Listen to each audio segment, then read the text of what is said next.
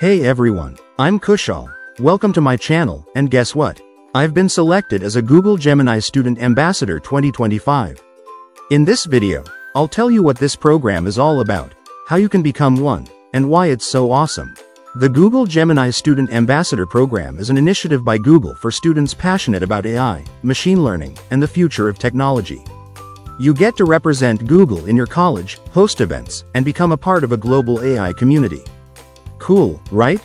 Any student currently enrolled in a technical course can apply. Whether you're into B.Tech, BCA, MCA, or data science, all you need is curiosity, leadership, and a love for tech. As a Gemini ambassador, you get recognition from Google free access to Google resources and AI tools hands-on training from experts a professional certificate and yes, exclusive swags. I already got some. As an ambassador, you'll host AI-focused workshops promote responsible use of AI share Gemini learning resources help your community grow with Google Tech. Applying is simple. Go to the official website, link in description.